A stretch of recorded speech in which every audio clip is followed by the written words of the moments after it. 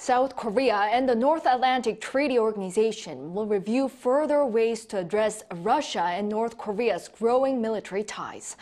That's according to Seoul's presidential office, which announced that National Security Advisor Chang Ho-jin met with Christopher Cavoli, commander of NATO's Allied Command Operations.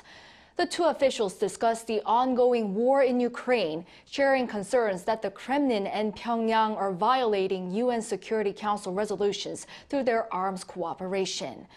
They agreed to review ways to cooperate on the matter, such as through information exchanges, and also discussed possible global ramifications in the aftermath of the Ukraine crisis. Chang also highlighted President Yoon Suk-yeol's attendance at the NATO summit last year, where he strengthened Seoul's bilateral partnership with Brussels.